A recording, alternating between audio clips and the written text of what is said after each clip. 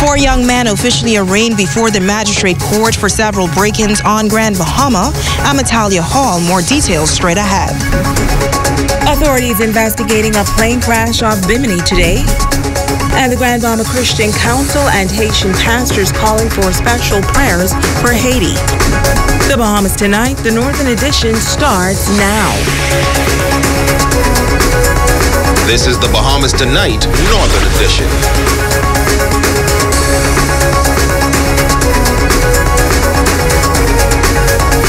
The Bahamas Tonight, the Northern Edition. Good evening, all. I'm Shashina Wolf Arkinson. As always, it is so great to have you with us. Topping news at the hour police on Grand Bahama cracking down on a theft ring on the island involving churches and business establishments. This morning, four young men were formally charged before the magistrate's court in connection with those matters. But shortly before the arraignment, our Italia Hall spoke with the authorities who provided some more details into the investigations. The spree of break-ins took place over the past few weeks. Assistant Superintendent of Police Kosijan Ewing says the department received a number of complaints from churches and business establishments in the Freeport area, but the theft ring came to an end this past weekend. On Sunday, the 4th of August, um, there was an alarm activation at Dollar Deals, and officers from the Northeastern Division responded and caught four individuals inside the establishment. As a result of that arrest, that led to us recovering and solving um, our matters reference to the churches that were broken into and the items were stolen. All the all the items that you see here were recovered. All the items from the churches were recovered, and we are happy to close this matter out and send our culprits to court so they can answer the charges. Now, a total of seven business establishments were broken into on Grand Bahama, and as you can see behind me, keyboards, wires, microphones, televisions, and even a coffee maker were all stolen from the various places. We're now in a different time. Um, when I was young, I would never even think about going into a church and stealing items from a church. Now, young people see it as an opportunity because what you what you'll find with most churches, they they don't have hardened security. We're now in an era where churches now must put in the, the, the security doors, security windows, even install cameras, um, because it has come to that. Churches have very expensive items. These televisions, electronic stuff, these are expensive. He says all of the accused men are known to police.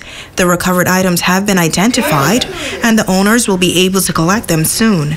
Italia Hall, ZNS Network News. Now, this morning, a group of men were formally charged in connection with those break-ins. Two juveniles aged 16 and 17, along with 18-year-old Demaine Sterling of Cherry Corner, Pioneers Way, and 26-year-old Bernard Justin Marcellus of Explorers Way were arraigned in the magistrate's court before Magistrate Charlton Smith on numerous accounts of shop breaking, sacrilege, stealing, and receiving.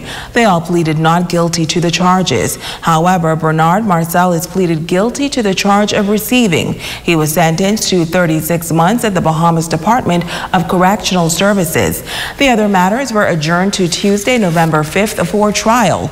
Bail was denied and they were all remanded to the Bahamas Department of Correctional Services. Meantime, 25-year-old Jermaine Thompson of Freeport and Florida was arraigned before Magistrate Charlton Smith in Magistrate Court Number 2 on grievous harm. He pleaded not guilty. His matter was adjourned to the 24th of September for trial. He was denied bail and he was remanded to the Bahamas Department of Correctional Services until trial. 21-year-old Shamiko Ewing of Blair Circle was also arraigned before Magistrate Charlton Smith in Court Number 2 on possession of a firearm with the intent by means to endanger life. He pleaded not guilty and the matter was adjourned to Tuesday, the 5th of November for trial. He was denied bail and was remanded to the Bahamas Department of Correctional Services. The charges are in connection with a matter that occurred on Sunday, August 4th. Also, news from the crime beat: a female is hospitalized tonight following a shooting incident on Grand Bahama. According to police, shortly after 12 a.m. today, a female was taken to the Rand Memorial Hospital via a private vehicle with a gunshot wound to the chest. Police say preliminary investigations revealed that the incident occurred at a business establishment on Midshipman Road, where three adult males and two females allegedly made use of an illegal firearm when it reportedly discharged, hitting one of the females in the chest area. Now, she is listed in serious but stable condition, and investigations are continuing. The Grand Bahama man who was gunned down at a business establishment off East Sunrise Highway on Sunday, July 7th, and later died has been identified as 38-year-old Patrick Jude Young. Police say shortly before 4 a.m. they were called to a business establishment off East Sunrise Highway where it was reported that a lone gunman reportedly opened fire, hitting two males. One of the males sustained injuries to the upper body and the other to the lower body. They were both transported to the Rand Memorial Hospital via emergency medical services. Young died on Tuesday, August 6th at the Rand Memorial Hospital. Police on the island of Bimini are investigating the circumstances surrounding the crash landing of an aircraft off Cat Cay. Reports are that shortly after 12 p.m. today, police received reports of a white and red twin-engine Piper plane crash landing in 15 feet of water near Cay with three American male occupants. The plane and occupants had arrived in the Berry Islands earlier today and were returning to the United States when they reportedly experienced engine difficulties and crash landed near Cat Cay. There were no injuries reported and all parties were transported to Cay by a passing vessel. Police are continuously investigating.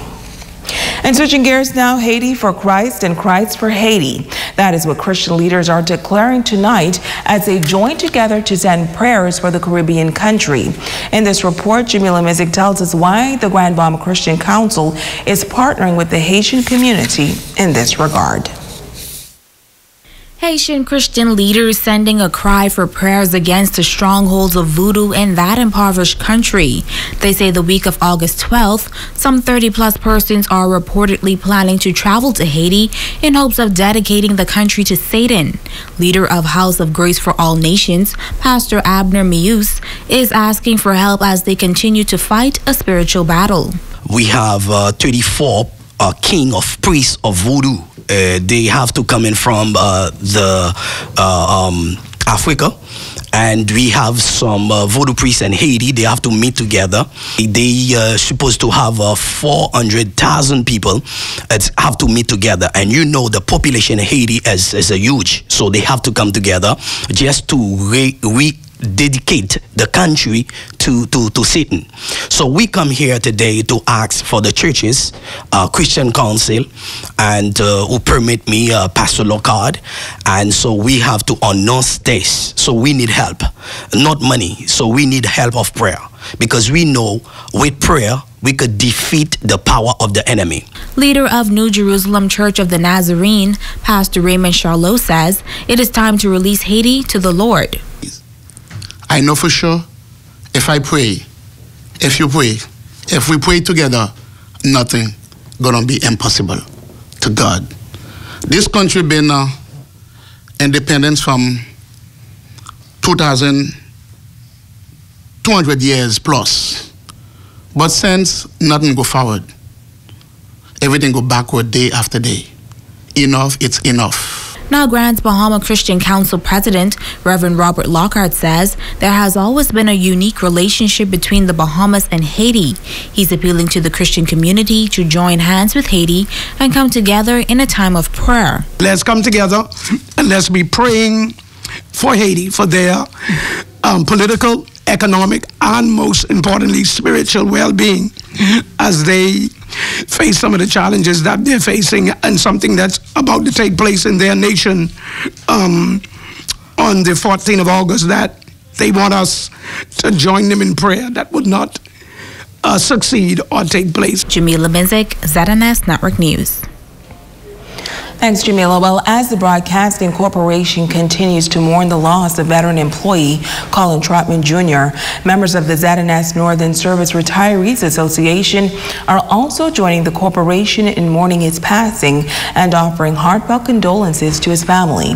The statement reads that Colin, a pioneer in broadcasting, was one of the team members sent to the Northern Service to assist with establishing ZNS TV in the North.